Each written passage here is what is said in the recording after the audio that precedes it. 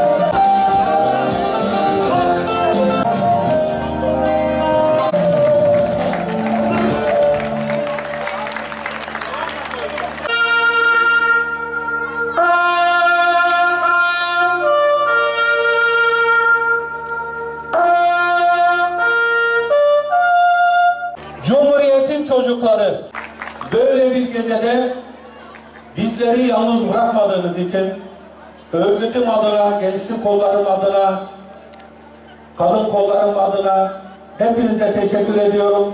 Saygılarımı sunuyorum. Hoş geldiniz. Arkadaşlar burası yeri değil. Çok fazla konuşmayacağım ama ben özellikle birilerine bir mesaj vermek istiyorum bu alandan.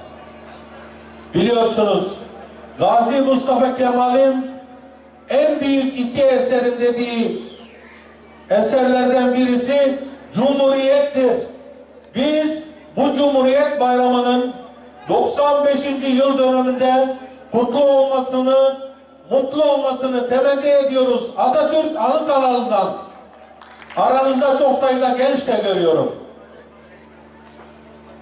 Değerli anıt alanından sesleniyoruz.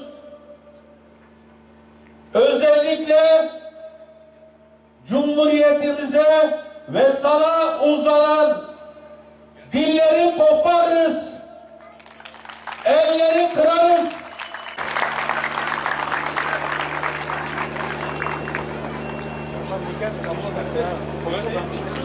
Cumhuriyetimizin bu güzel gününde bize bu fırsatı yaratan öncelikle ilçe yönetimime, e, ilçe başkanımıza teşekkür ediyorum ama seçimlerden bu yana birçok etkinlik yaptığımız, gerekirse geceleri bayrak astığımız gençlik örgütündeki arkadaşlarımızı da buraya çağırmak istiyorum. Onlara da teşekkür ediyorum. Bizi hiçbir etkinliğimizde yalnız bırakmadınız. Aday adaylarımıza, be- belediye meclis üyelerimize, partilerimize çok teşekkür ediyoruz.